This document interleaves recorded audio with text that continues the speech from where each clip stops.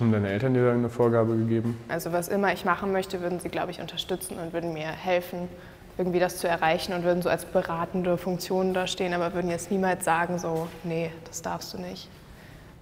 Also ich glaube, sie würden was sagen, wenn ich jetzt sage, ah, hier, Harzen und sowas. Ich glaube, das fänden die Ja. nicht so cool. Ja, so ist es ja bei meinen gerade, dass sie so sagen, okay, du warst jetzt ein Jahr weg, jetzt mach was, Ja.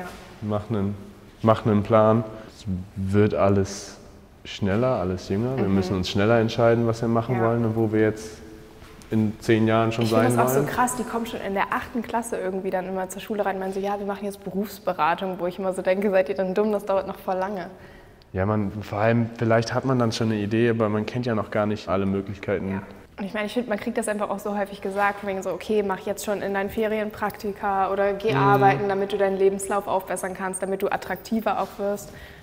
Und das ist halt irgendwie, das startet so früh einfach schon.